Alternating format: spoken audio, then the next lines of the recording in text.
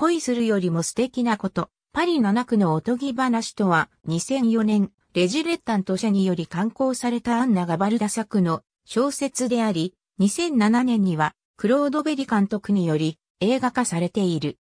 現代のアンサンブル、セトゥーは、一緒に、それが、すべてという意味である。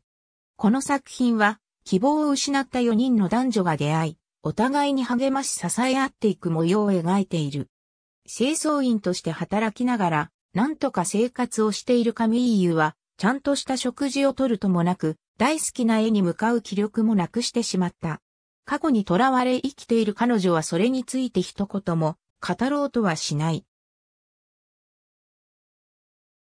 高級アパートに住む貴族出身でシャイな歴史好きの青年、フィリベールは、脅迫性障害という精神疾患、喫音に悩まされている。その青年、フィリベールの同居人フランクは、腕のいい料理人。